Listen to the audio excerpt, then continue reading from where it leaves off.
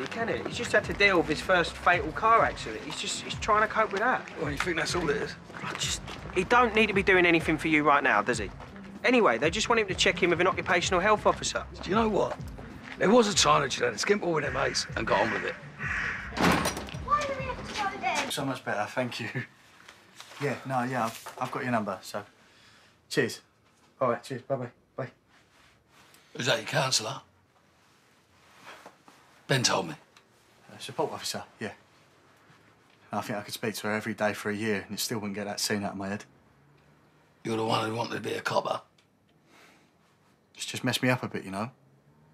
I don't know what I'm doing. Can't control my behaviour. They were good people. Decent. Never skipped a day of church. Just trying to live a life. They adopted that boy, you know? Gave him opportunities. Little Raymond. Three years old. All alone. It just don't feel right. That was his name, was it? Raymond. Yeah. I'm going to give the hospital a ring. See how he's getting on.